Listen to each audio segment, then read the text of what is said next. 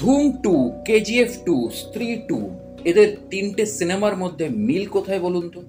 মিল হচ্ছে একটা জায়গাতেই এরা ফার্স্ট পার্টকে ছাপিয়ে চলে গেছে সেকেন্ড পার্টে যেটা খুব স্বাভাবিক নয়, কারণ স্বাভাবিক জায়গায় আমরা দেখতে পাই ফার্স্ট পার্টকে সেকেন্ড পার্ট হয়তো সবসময় ছাপাতে পারে না।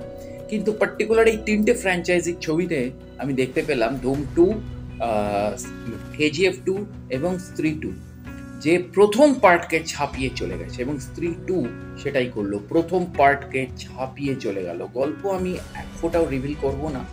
কিন্তু এই গল্পে সারকাটা, অর্থাৎ আমাদের যেটা গলা কাটা ভূতের গল্প আমরা ছোটবেলা থেকে শুনে আসি, সেই গলা কাটা ভূতের এখানে রমরমা দেখানো হয়েছে এবং গলা কাটা ভূতের সাথে স্ত্রীর কি সম্পর্ক সেটা রিভিল করা হচ্ছে। যেটা আমরা স্ত্রী পার্ট ওয়ান থেকেই জানতাম যে স্ত্রী অ্যাকচুয়ালি চন্দেরি গ্রামের বহু পুরনো ইতিহাসের একজন বেশ্যা ছিল যার পরবর্তীকালে একটি ছেলের সাথে প্রেম হয় এবং সেই ছেলেটির সাথে সে মন থেকে বিয়ে করে এবং তার ফুলসজ্জার রাতেই গ্রামের লোকেরা মানে যারা ওর একটা সময় ক্লায়েন্ট ছিল, তারাই ওকে খুন করে দেয়। যার জন্য স্ত্রী অতৃপ্ত হয়ে যায় এবং সেই স্ত্রী কিন্তু পরবর্তীকালে সেই গ্রামের পুরুষ মানুষদেরকে টার্গেট করে এবং গ্রাম, গ্রামটাকে পুরো পুরুষ শূন্য করে দেয়। সে কিন্তু মেয়েদের উপর অত্যাচার করে না।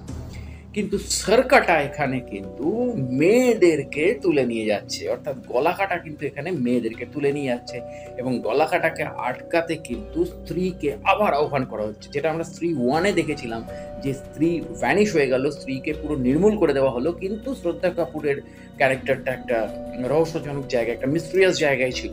তো সেই জায়গা থেকে দাঁড়িয়ে আমরা এখানে দেখতে পাচ্ছি যে সারকাটা মানে অদ্ভুত ব্যাপার পার্ট ওয়ানে দেখিয়েছিল ছেলেদেরকে তুলে নিয়ে যাচ্ছে স্ত্রী। আর পার্ট টুতে দেখাচ্ছে যে সারকাটা অর্থাৎ গলা কাটা ভূত সে কিন্তু গ্রামের মেয়েদেরকে তুলে নিয়ে যাচ্ছে এবং সেই মেয়েদেরকে রক্ষা করতে কিন্তু স্ত্রী চরিত্রের আবার ইনভলভমেন্টস আসছে। আর এইবারে, এইবারের গল্পে শ্রদ্ধা কাপুরের চরিত্রটা যেন আরও ভয়ঙ্কর ভয়ানকভাবে প্রেজেন্ট করা হয়েছে। কারণ গল্পের যেটা প্রেক্ষাপট, সেই প্রেক্ষাপট অনুযায়ী কারণ চন্দেরি গ্রামের যে গল্পটা, এই গল্পটা অ্যাকচুয়ালি একটা বাস্তবিক প্রেক্ষাপট আজ থেকে প্রায় দেড়শো বছর আগে ব্রিটিশ আমলে ব্রিটিশ আইনে এটা দেখা গেছিল যে ম্যাঙ্গালোরের থেকে বেশ কয়েকশো কিলোমিটার দূরে একটা প্রত্যন্ত গ্রামে এই ঘটনাগুলো ঘটেছিল। এবং সেই ঘটনাটার একটা ইতিহাস রয়েছে, কিন্তু কতটা ইতিহাস রয়েছে, কতটা লোকমুখে প্রচলিত গল্প, কতটা গুজব, এইটা নিয়ে আমরা এখানে বিস্তৃত আলোচনা করার জায়গা নয়। কিন্তু এই ইনসিডেন্টটা হয়তো এক্সিস্ট করেছিল যার জন্য পরবর্তীকালে ম্যাডক এটা নিয়ে তাদের ইউনিভার্সের অন্যতম সেরা ফ্র্যাঞ্চাইজি স্ত্রী বানায়।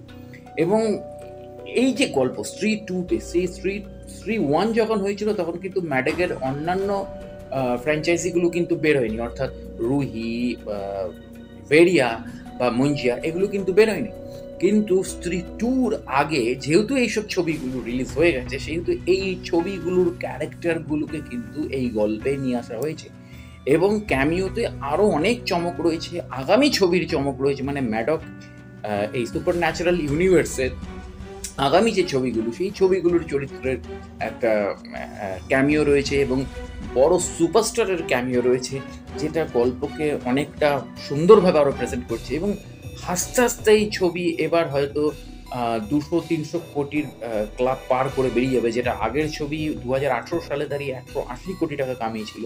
এই ছবি হয়তো সেই মাইল ফলক ছুঁয়েও সেটা ডবলও কামিয়ে বেরিয়ে যেতে পারে, কারণ গল্পের স্ক্রিপ্ট পুরো বেঁধে রেখে দিয়েছে। কিন্তু গল্পের সবচেয়ে দুর্বল জায়গা, অন্তত দু হাজার চব্বিশে দাঁড়িয়ে ম্যাডকের কাছ থেকে ম্যাডক যেখানে আগের ছবিগুলো, অর্থাৎ ভেরিয়া বলুন বা রুহি বলুন এই সব ছবিগুলোতে যে ভিএফএক্স প্রেজেন্টেশন দিয়েছে, সেখানে দাঁড়িয়ে স্ত্রী টু এর ভিএফএক্স প্রেজেন্টেশন কিন্তু অনেকটা দুর্বল লেগেছে, কারণ সেটা খুব চোখে লেগেছে। কেননা আরও টান টান ভিএফএক্স প্রেজেন্টেশন দরকার ছিল অন্তত এই ধরনের গল্পে। এটা তো আর আমাদের বাংলা সিনেমা নয় যে বাজেটের প্রবলেম হতে পারে।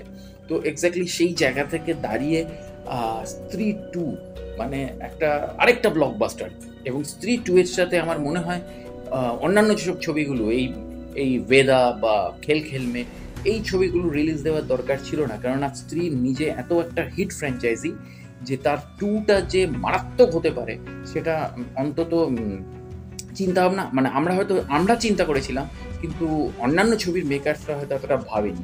আর যেহেতু জন আব্রাহাম আর অক্ষয় কুমার তারা পনেরোই আগস্টে একটা রিলিজ দিতে চায়, এটা বরাবর আমরা দেখেছি, সেই জায়গা থেকে দাঁড়িয়ে এবছরও তারা দুজনেই পনেরোই আগস্ট রিলিজ দিয়েছে।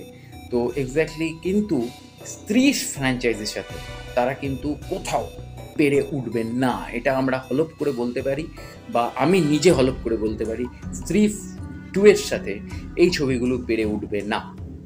এবার দেখা যায়, দেখা যাক ট্রেড অ্যানালাইসিস আগামী দিনে কি আসে বা এই উইকেন্ডে কি আসে।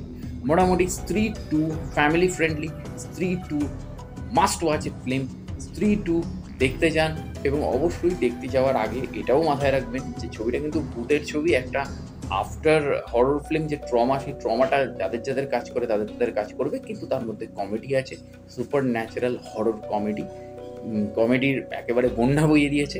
তো সেই জায়গা থেকে দাঁড়িয়ে মন তৈরি করেই ছবিটা দেখতে হবে। চলুন, দেখা হচ্ছে পরের ভিডিওতে। অবশ্যই আমার চ্যানেল সাবস্ক্রাইব করে বেল আইকন অল নোটিফিকেশন চলে যাবে নমস্কার।